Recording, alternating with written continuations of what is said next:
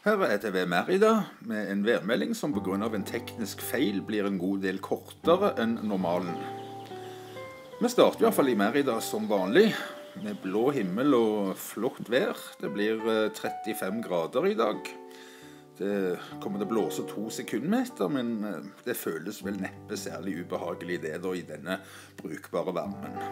Ja, Det er fremdeles ganske bra i deler av Norge, Stavanger og litt nord for Molde, men det er òg et truende nedbørsområde der, ikke minst i Danmark. Nei, ja, i, i, Frankrike, hvor det skal være Tour de France i dag. Vi zoomer litt inn på varmen i Norge, så ser vi at det er vel i Trondheimsområdet det kanskje er varmest. Det er ikke så mye regn i Norge. Tromsø de får altså 16 grader i dag, så skal det stige litt i morgen. Men dette blir jo ikke på det nivået det har vært, da. Og så kommer det regn igjen. Molde har jo ikke hatt en eneste dag med fint vær på aldri så lang tid, og det dårlige været det bare fortsetter der. I Stavanger er det en fin dag i dag. Det blir 26 grader. Dessverre så kommer det litt skyer i morgen. Da dette temperaturen ned til 22. På søndag og mandag kommer det litt regn, og så blir det litt bedre igjen etter hvert. Vi håper at det blir mer sol og mer varme enn det langtidsvarselet viser for Stavangers vedkommende. I Danmark der er det jo ikke mye regn.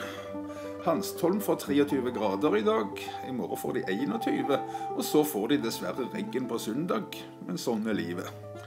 Så skal vi nå ned til Tour de Agva, Tour de France.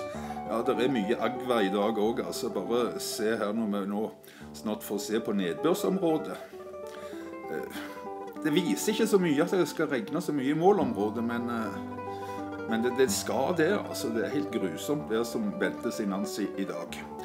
Ja, Så var det denne tekniske feilen. Vi får ikke presentert været for, uh, for Spania, så vi får bare avslutte her. Så skal jeg forsøke å se om vi kan uh, få lagd en ny værmelding om en liten stund. Så får vi da to. Kanskje vi kan ta med værvarsel for i morgen òg, hvis vi gjør det. Jeg bare beklager tekniske feilen, og så ønsker vi en riktig god dag med ETV Merida. Det blir stort sett bra vær i hele Spania for de som måtte lure på det.